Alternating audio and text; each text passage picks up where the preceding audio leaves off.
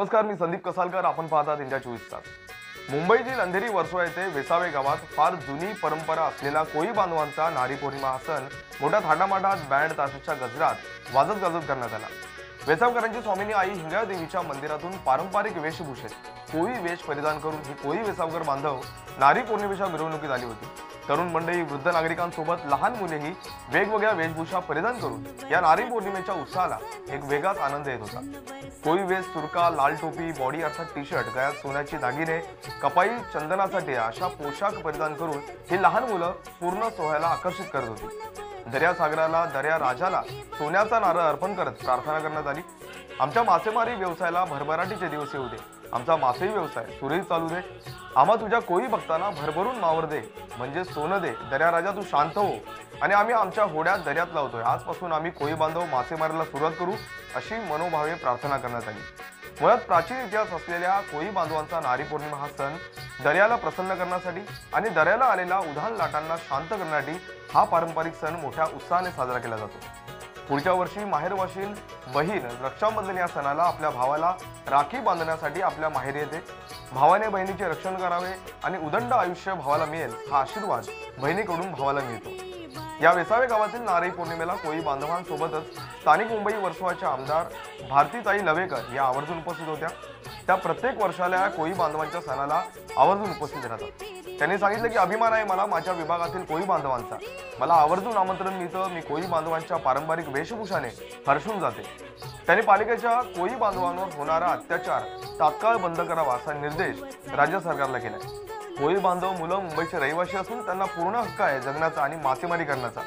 पालिकेचे हे मत्स्य व्यावसायिक कोळी बांधवांचे माती बाजार हे बांधकाम तोडणे गैरव्यवहार आहे. राज्य सरकारने याची जबाबदारी घ्यावी. मी पूर्णपणे कोळी बांधवांच्या पाठीशी आहे असे उद्गार काढले.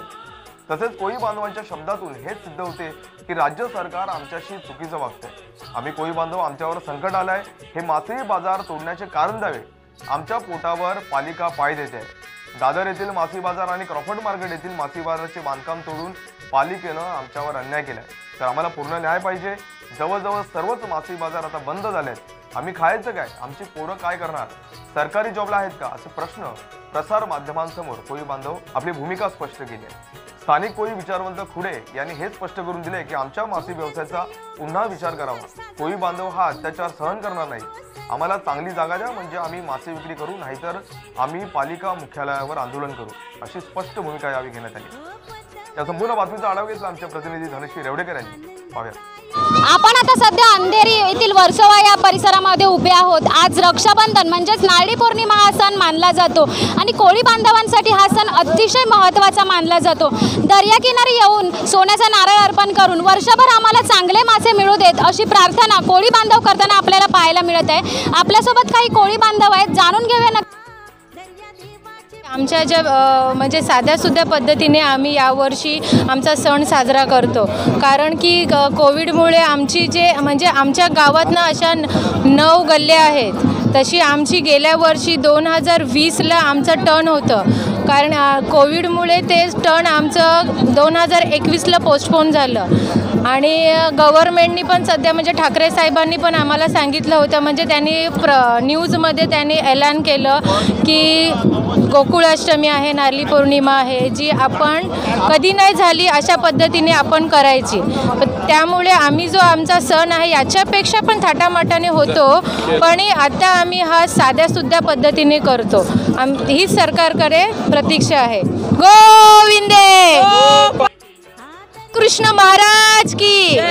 बापू, जसं की दर्याकिनारी सोन्याचा नारळ देऊन तुम्ही प्रार्थना करता की आम्हाला वर्षभर चांगले मासे मिळू देत.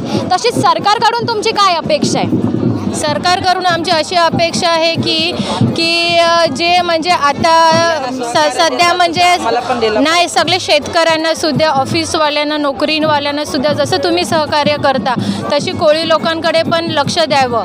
कारण की आता जे दादर मार्केट आहे प्रॉफिट मार्केटसुद्धा म्हणजे खूप मच्छीचं नुस नुकसान झालेलं आहे काय आहे. आणि आता डिझेलचा पण भाव जो पुष्कळ प्रमाणे वाढलेला आहे आणि म्हणजे कधी नाही झालं असं यावर्षी झालेलं आहे कारण की अजून पुष्कळपणे बोटी ज्या आहेत त्या निघालेल्या नाही आहेत. आणि अजून पण बोटी बंद आहे आणि आम्ही सरकारकडे हात जोडून विनंती करतो की डिझेलचा